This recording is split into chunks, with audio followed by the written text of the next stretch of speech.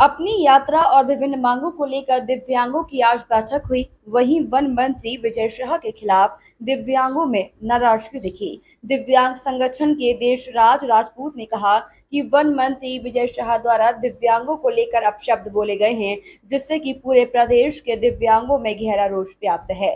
उन्होंने बताया कि वे मामले में कोतवाली में आवेदन देंगे। साथ ही देशराज ने आगे कहा कि प्रधानमंत्री नरेंद्र मोदी ने जहाँ विकलांगों को दिव्यांग नाम दिया है वहीं उनकी सरकार के मंत्री दिव्यांगों के लिए अब शब्दों का प्रयोग कर रहे हैं जो कि सरासर गलत है। इस मौके पर कई दिव्यांग मौजूद रहे। बताएँ किन मांगों को लेकर आज बैठक की गई है?